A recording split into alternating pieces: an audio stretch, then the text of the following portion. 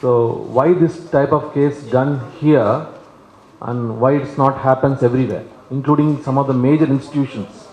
And uh, in fact, this is the first case which has happened here in Apollo Proton Chennai. Uh, traditionally, when this type of cases comes to an orthopedic surgeon, his mind works only to the where the pathological fracture, you know, he want to make it better. He want to eradicate the complete local uh, cancer and reconstruct, rehab faster, and make patient mobilize. That that will be his complete motive. But uh, having said that, in biopsy we come to know that the primary lesion is sitting in the kidney and throwing this cancer everywhere in the body. So when it came to us, because of the multimodal approach, a very, very high-end institution in terms of cancer, when we sat together, in fact, Vishnu is the key. He was pushing, you know, we need to do in a single stage. The other aspect in our mind is RCC is, uh, it bleeds like anything because it uh, takes about three to four hours the mega prosthesis. We thought initially, if at all it is going to be like, you know, more, she is going to be unstable post mega prosthesis, we need to stop at the stage to not to think the second stage. But having said that, because of the group of people, the roadmap, what we have done for this particular case, each and everything, the tumor board. So these things made, uh, you know, the very aggressive way of thinking of having the same single stage nephrectomy too. So we could able to finish uh, safely in a good time with only 300 ml blood loss for distal femur. That made us to go ahead with the lap neph. So I think uh, he has done a fantastic job by remo- removing the kidney, you know, through laparoscopic. So and also the blood loss is only 200 ml. So six hours, less than six hours surgery, 500 ml blood loss. I think that is the advantage what we had in a multimodal approach. And uh, believe me, sir, this won't happen in a regular s- centers. And one man thinking will change the outcome. If it comes to only orthopedic surgeon, he'll think of only changing the distal femur, traditionally.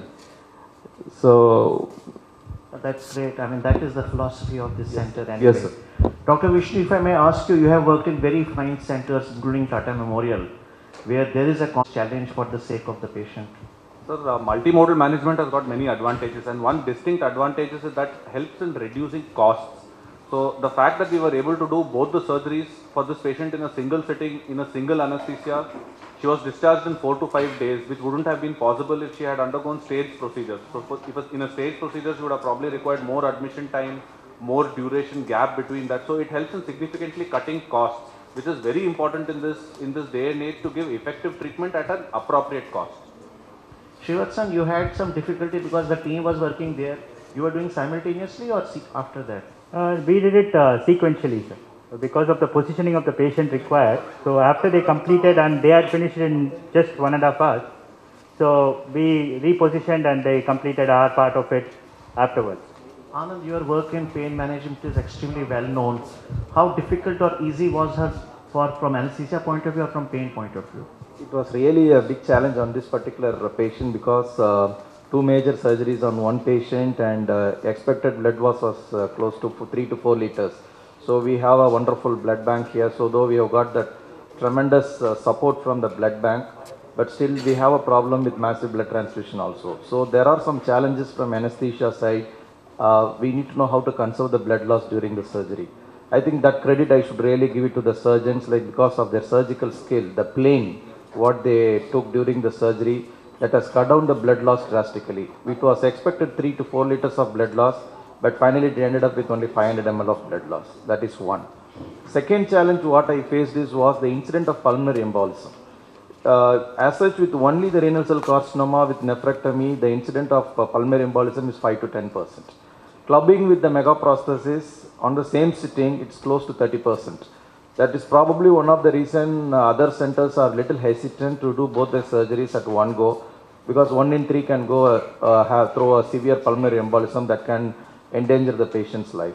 So with the meticulous surgical work, with a uh, meticulous intraoperative monitoring and blood conservation strategy and intraop and immediate post-operative pain management, we could avoided that, uh, we avoided that pulmonary embolism incident drastically and that made the patient also uh, walk very next day.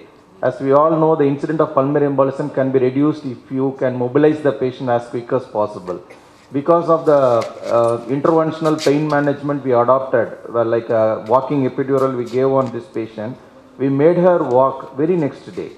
So that drastically reduced the incident of pulmonary embolism. So these are all the challenges and uh, we successfully overcome the challenges with uh, the armamentarium and the, with the facility, the blood bank, the staff. So we could get away with the challenges uh, in a nice way. I just wonder what will be the further, any further line of treatment for this particular patient? And what, also what's the prognosis of this particular patient? Uh, Ma'am, this being a oligometastatic uh, kidney cancer, this patient has got a significantly better prognosis than patient with uh, multiple site metastasis. Because it's a single site metastasis, we can still offer, technically we can offer curative intent treatment for this patient. So she will subsequently get uh, adjuvant uh, tyrosine kinase inhibitors because she is metastatic disease. But uh, the chances of having complete cure with good five-year survival is very good for this patient actually. Just Vijay so what, what is, see, whenever you put an implant into the patient's body, you always worry about the infection. So what's the chance of infection in this patient and how long we should worry about the infection? Uh, ma'am, um, the very, um, the infection is the very big challenge in this particular case, ma'am, because um, uh, though we regular total knee replacements, we stopped using drain. Uh, since more than 10 years, we don't use drains at all. But being a mega prosthesis, we have excised more than, you know, because the primary, they have done a biopsy, we need to cut off everything. We have almost took the vastus lateralis and uh, we kept the drain and uh, we were seeing uh, very, very uh, carefully the drain. You know, usually we take it off in two days. We made sure the drain is less than 50 ml and that is definitely the, you know, one of the key to, you know, to not to have infection post-operatively. Uh, yeah, uh, once the drain is less than 50 ml, we took out the uh, thing and she's doing well. Now, now 13th post-op day, the sutures looks very nice, ma'am. We are not much worried and not, uh, you know, towards to the infection for this particular case. Dr. Ramesh, you would like to add something? As we have already discussed, a multimodal approach like this, I play the role like in there is a crisis or there are surprises in uh, excising the tumor. There is always, uh, I am available for a complete reconstruction. Finally, end of the day, clearing the tumor and making the limb functional is the plan of the surgery where I come in. And all of us under the same roof in the same room, when we do it, the outcomes are better as you saw the patient started walking around. Thank you very much. Any Thank other you. questions? Patient வந்து ஒரு left sided kidney cancer இருக்கிற patient அவங்களுக்கு வந்து கிட்னிலேருந்து இருந்த அந்த புற்றுநோய் வந்து காலில் இருக்கிற எலும்புக்கு வந்து ஸ்ப்ரெட் ஆகிருக்கு பரவி இருக்கு. ஸோ இந்த எலும்பு பரவுனதுனால உங்களுக்கு அங்கே ஃப்ராக்சர் ஆகிருந்துச்சு ஃபீமர்னு சொல்லுவோம். That is the thigh bone அதாவது தொடை எலும்பு. அந்த எலும்பு வந்து ஃப்ராக்சர் ஆகிருக்கு ஸோ இதனால் அவங்க மூணு மாதமாக ஷி வாஸ் அந்த பேஷண்ட் வந்து நடக்க முடியாமல் பெட்லேயே இருந்தாங்க. இங்கே வந்ததுக்கு அப்புறம் நாங்கள் வந்து கம்ப்ளீட்டாக எல்லாரும் சேர்ந்து கலந்தாலோசித்து என்ன சர்ஜரி பண்ணுறது அப்படின்னு சொல்லிட்டு டிசைட் பண்ணோம். நாங்கள் ஒரு முடிவு எடுத்தது வந்து இந்த ஃப்ராக்சர் சைட்டை வந்து ஃபிக்ஸ் பண்ணணும். அதாவது வந்து அந்த ஃப்ராக்சர் இருக்கிற அந்த கேன்சர் சைட் ஃபுல்லாக எடுக்கணும். ப்ளஸ் அந்த கிட்னியில் இருக்கிற கேன்சரையும் நம்ம எடுக்கணும்னு சொல்லி முடிவு பண்ணி ஒரே சிட்டிங்கில் அதாவது அதே ஒரே நேரத்தில் ரெண்டு சர்ஜரியும் கண்டினியூஸாக சீக்வென்ஷியலாக பண்ணியிருக்கோம்.